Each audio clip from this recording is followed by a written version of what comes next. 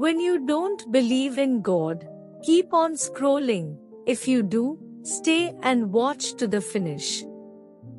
God is expressing to you today that you are progressing more than you think, and that this is not the time to give up.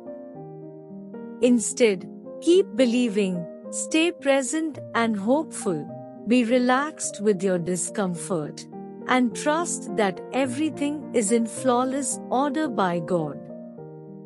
If you believe this to be correct, you can do this.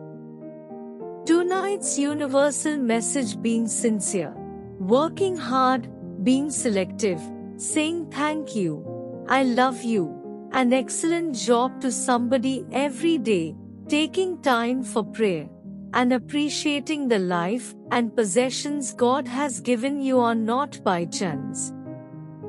Find your goal and fulfill it as fully as you can.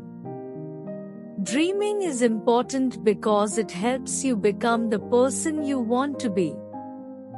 Smile often and enjoy every moment in life.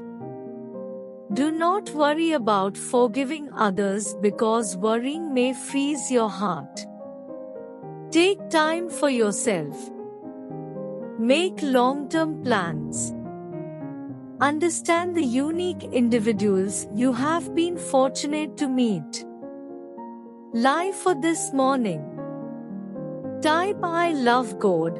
If you believe God, God says that today you have no influence over the outside world, all you have power over is what occurs inside you. Hanging on to the pain of the past might make you susceptible and keep you in victim mode. By going into victim mode, you can strengthen your flourishing. When you suffer, Make your health the answer and your main focus by accepting that you are greater than your history and deserving of a fantastic future. This will help you restore your identity. Presently, the universe promises pleasant outcomes and lovely starts.